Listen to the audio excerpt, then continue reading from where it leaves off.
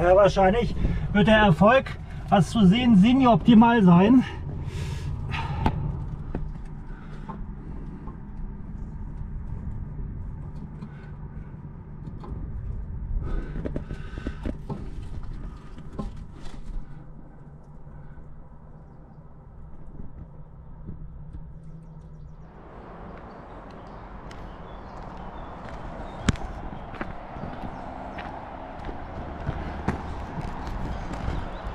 Da bin ich wieder. Eingang der Feldhofhöhle. Habt ihr gerade gesehen. Hab mich da auch gerade verpflegt und gestärkt. Und jetzt geht's in Richtung Auto. Ich hatte mein Auto äh, am Haus Recke abgestellt und bin dann einfach mal zur Feldhofhöhle hinaufgelaufen. Ist jetzt eigentlich mehr ein Umweg gewesen äh, zu dem, was ich eigentlich hier in der Landschaft vorhatte. Ich wollte eigentlich mal Richtung Tal einwärts laufen. Da geht es auch eigentlich jetzt hin. Also erstmal Richtung Auto, Haus Recke und dann wahrscheinlich erstmal Richtung Karhofhöhle. Beziehungsweise gibt es da ja, glaube ich, auch noch weitere Höhlen da in dem Gebiet. Ja, an dieser Stelle nochmal super, super herzlichen Dank für den Kommentar zwecks dieser verschlossenen Höhle. Ähm, da sollte sich ja eine Telefonnummer an der Höhle befinden, zwecks Befahrungsinteresse, die, ja jetzt da nicht, äh, äh, die ich ja jetzt da nicht gefunden habe. Schade auch. Wahrscheinlich wird das auch nicht mehr angeboten, ähm, weil dementsprechend die Höhle eigentlich mehr schwer zugänglich ist.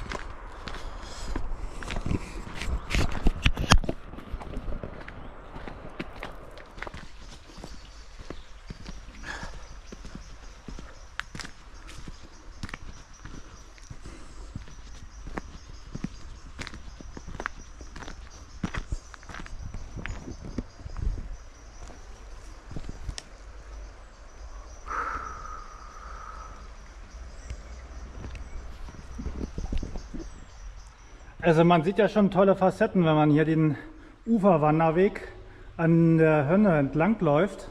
Jetzt tut sich hier auch noch mal so eine schöne alte steinerne Brücke auf. Und selbst da fällt der Kalk aus. Man sieht es hier, so leichte Tropfsteinbildung überall an der Brücke. Richtig geil. Und da oben kann man jetzt wahrscheinlich nicht sehen. Da gibt es schöne lange Zapfen sogar.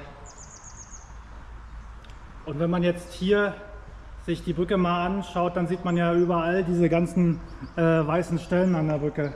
Also echt toll, dass man hier auch alles zu sehen bekommt. Hier sieht man ja die Hönne, wie sie sich den Wegtal auswärts bahnt.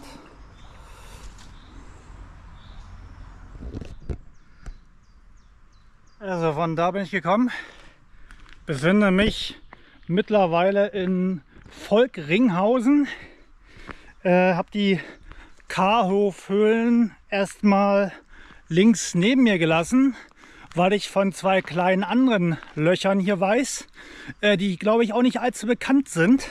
Einmal ist das hier, dieses versteckte Loch. Es müsste äh, ein Karstwasserüberlauf sein. Das bedeutet, wenn hier Hochwasser ist, beziehungsweise besonders regenreiche Tage, steht hier nämlich der Höhleneingang auch gerne mal unter Wasser. Und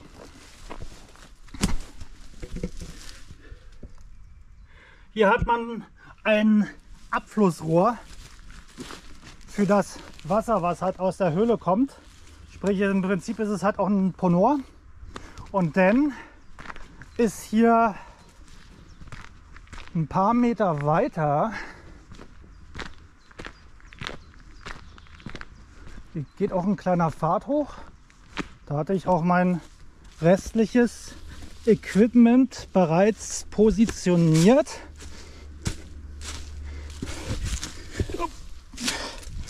Findet sich hier ein kleines Loch was ich mal kurz ankrabbeln werde. Aber augenscheinlich ist es hier bloß der kleine Höhlenraum.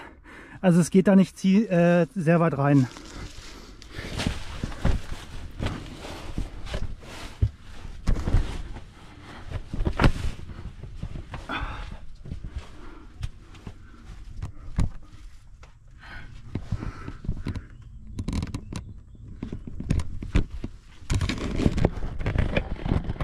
Ja, hier muss man echt aufpassen. Hier sind überall aufgespannte Spinnennetze. Ich würde da eigentlich ungern was zerstören wollen.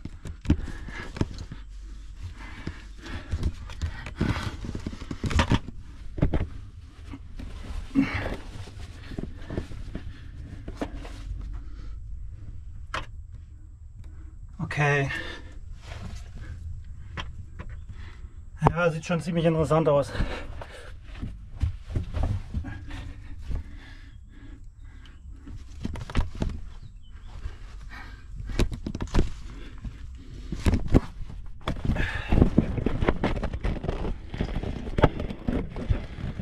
Prinzip ist es bloß ein kleiner Höhlenraum rechtsseitig. Links geht es nicht mehr weiter. Rechtsseitig ist hier auch Feierabend. Muss auch gerade sagen, hier haben auch einige Wildtiere ihren Kot abgelegt. Also hier stinkt es auch ziemlich in der Höhle. So, Höhle Nummer 2, der Honor.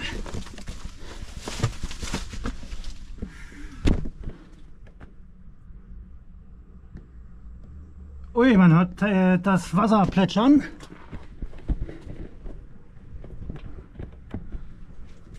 Wow.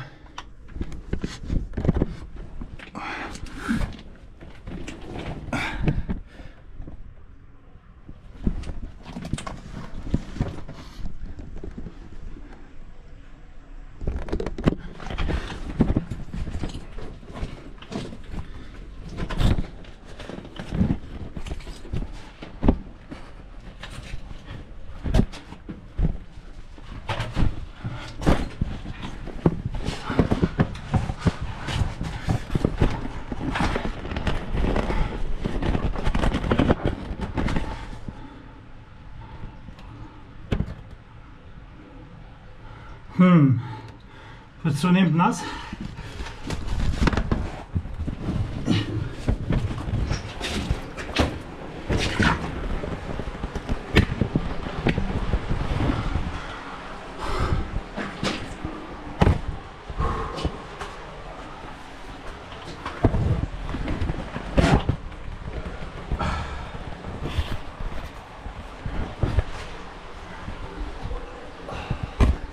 Wahnsinn. Richtig krass. Wenn man mal überlegt, bin ein bisschen nass geworden. Bin jetzt diesen Gang hier seitlich längs und wie ihr seht, ist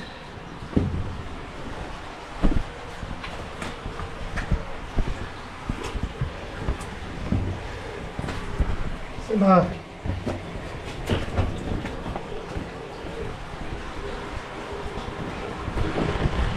immer mehr tiefer in die Höhle und es wird auch immer lauter das Wasser. Ich glaube, ich werde aber gleich umkehren. Das ist nichts mehr für mich.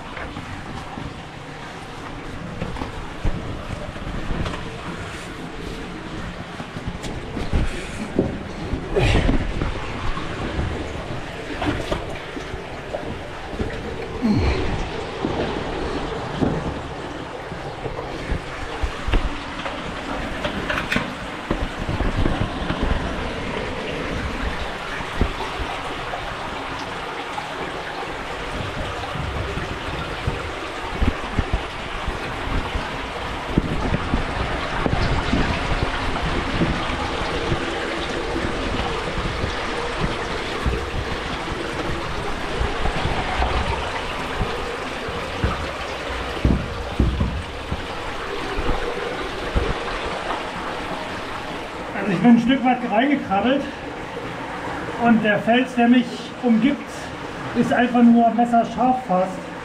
Also sehr riffartig ausgeprägt und ich bleibe überall mit der Kleidung hängen. Also ist nicht die optimale Kleidung, um jetzt hier noch weiter voranzuschreiten. Ich habe halt auch kein Neopren an und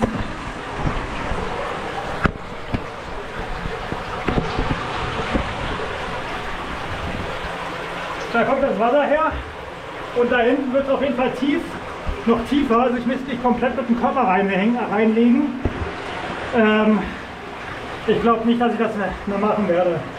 Das ist schon ziemlich schwierig hier voranzukommen. Und ich werde mich hier nicht komplett ins Wasser legen mit der Kleidung, das fällt aus.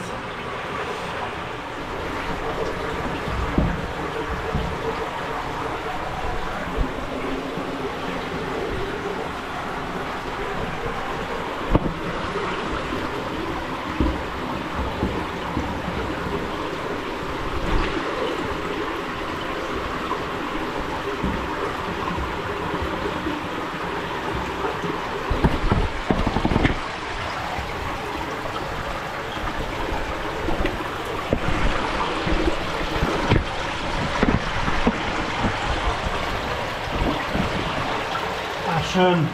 Überall dieses fließende Wasser. Und dann dieser ausgewaschene Gang. Ich bin auch mega fertig. Erstens die Hitze drückt, 30 Grad etwa. Und dann noch diese engen Höhlengänge, wobei das kühle Wasser und auch die kalte Höhle echt gerade eine gelungene Abwechslung war, der drückenden schwülen Hitze zu entkommen.